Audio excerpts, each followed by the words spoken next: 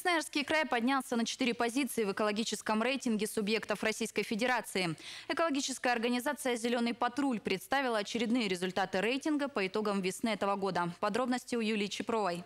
Красноярский край уже не первый год лидирует по количеству вредных выбросов в атмосферу. В промышленных городах нашего региона уровень загрязнений характеризуют как высокий. Всего за один год в воздух выбрасывается 2500 тонн загрязняющих веществ.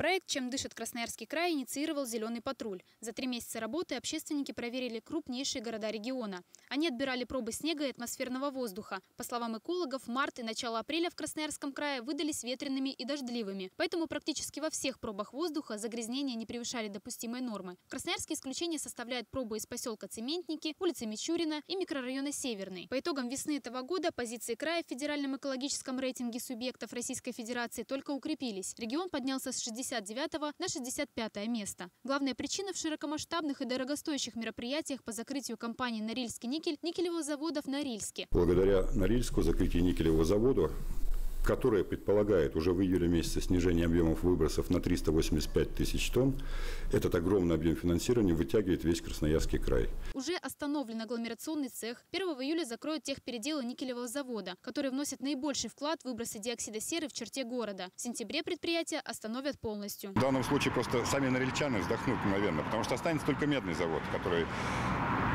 один из двух источников будет убран. При этом сейчас уже э, на, по ситуации на июнь месяц объем выбросов никелевого завода сократился на 40%.